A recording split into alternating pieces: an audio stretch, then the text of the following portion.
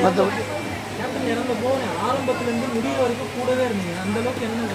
இப்போ பாருங்கள் ஒரு நான் வந்து இங்கே உட்காந்துட்டேன் மகிழ்ச்சியாக இருக்க வேண்டிய காட்ட வேண்டிய சூழ்நிலையில். ஒரு விதத்தில் கேப்டன் இறப்பு ஒட்டுமொத்த உலகத்து மக்களுக்கும் ஒரு வித அதாவது அவங்க இந்த மூணு வருஷமாக சொல்லணும்னா துயரங்களை அனுபவிச்சுட்டு இருந்தாங்கங்கிறது எல்லாத்துக்கும் தெரியும். எப்படின்னா அவர் நினைவு இழந்திருந்தாங்களா ஹாலில் இருந்தாங்கன்னு எங்கள் இதில் சொல்லுவாங்க. அதாவது மிகுந்த ஒரு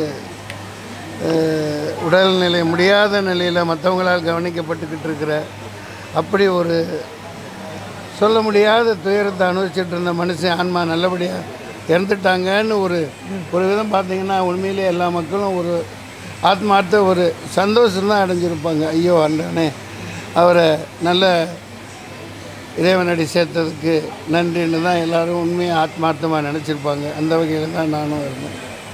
நான் போனேன். வெளியே அனுப்பி வச்சுட்டோம். இப்போ வந்து இங்கே ஆமாம் அதெல்லாம் சொல்லக்கூடாது. சாரி சொல்லக்கூடாது. அவங்கவுங்க வியாபாரம். இது வந்து காம்ப்ளெக்ஸ் இங்கே வந்து படம் போடுறாங்க. தேட்டரில் படமே நல்ல திரையரங்குகளே சில அரசியல் காரணங்களாக எனக்கு கிடைக்கல. அதை நான் சொல்ல விரும்பலை. படம் மக்களால் கொண்டாடப்படுது பார்க்கப்படுது. ஓடிடி தளத்தில் பெருசாக எதிர்பார்ப்பாங்க. அதில் இப்போ அவ்வளவுதான். வடிவேல் அவர்களுக்கு வந்து ஆரம்பத்து காலத்துல இருந்தே விஜயகாந்த் சார் வந்து ஒரு ஹெல்ப் பண்ணியிருக்காரு என்னதான் ஒரு கருத்து வேறுபாடு இருந்தாலும் அவர் இறப்பு கூட வரலன்றது நிறைய? மன்னிக்கவும் அதெல்லாம் சொல்ல விரும்பலை. கேப்டன் எல்லாராலையும் ஒரு பொதுமக்களாலேயும் எல்லா ஆ, கட்சிக்கு அப்பாற்பட்டு பொதுமக்களால் ரசிகர்களால் இனம் மொழி ஜாதிக்கு அப்பாற்பட்டு விரும்பப்பட்ட ஒரு மனிதர். ஆமாம் இதை கொஞ்சம் நீட்டி விட்டுருமா? போதும்மா. அந்த எந்திரிச்சு நிமித்திக்கிறேன். ஏன்னா அது அகம்பாகமாகவும் ஆணவத்தின் வெளிப்பாடாகவும் இருக்கும். கொஞ்சம் இங்கே இருந்து சே பயன்படுத்திக்கலாமா? வந்து படுத்து அதுக்குள்ளே வந்துட்டாங்க. மேலே மேலே. காலை நீங்கள் காலை எடுத்தால் தான் அவங்க அங்கே கையை வைக்க முடியும். சார் இப்போ அந்த சோசியல் மீடியாவில் விஜய் சாரை பற்றி செய்திகள் போயிட்டு இருக்கு. அது எப்படி சார் உண்மையாக சரி, சரி, அந்த மாதிரிலாம் திட்ட மன்னிக்கும் அந்த மாதிரிலாம் திட்டமிட்டெல்லாம் எதுவும் செஞ்சுருக்க மாட்டாங்க. அந்த மாதிரிலாம் கூட்டத்தில் அது மிகப்பெரிய ஒரு ட்ரா ஒரு ஹைவே போகிற வர்ற மக்கள் எல்லாமே கலந்துக்கிற இடம். அதில் யாராவது விசமிகள் யாராவது செஞ்சுருப்பாங்க. அது அதெல்லாம் உண்மையான வெறுப்பு வெறுப்பு மேலையில் அதெல்லாம் நம்ம கணக்கிடக்கூடாது. அதெல்லாம் விஜய் வந்து மிக மிக பேரன்பு மிக்கவர் கேப்டன் மேலே.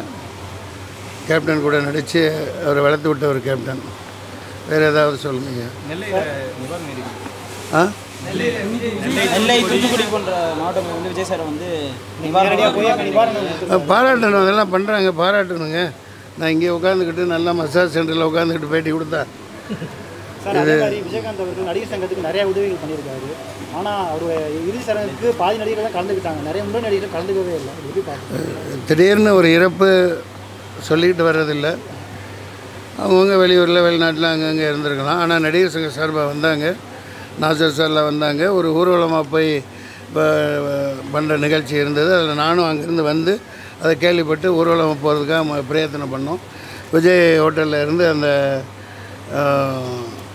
நூறடி ரோட்டில் போனால் அங்கே கூட்டம் தாங்க முடியல. எல்லாம் இந்த அபிராமியெல்லாம் நசுக்கப்பட்டு அவங்க உயிர் பிழைச்சதே பெரிய விஷயம். அபிராமி கோவை சரளா இந்த கூட வந்த என்ன நடிகைகள் இவர் விஜய் சேதுபதி எல்லாம் அப்படியே நசுக்கி அப்படியே சட்னி ஆக்கிட்டாங்க. கை என் பட்டன்லாம் என்னோடய சட்டையில் எல்லாம் உடஞ்சிருச்சு. செருப்பு கருப்பெல்லாம் எல்லாம் பிஞ்சு போச்சு. அந்தளவு கட்டுக்கடுங்காத கூட்டம்.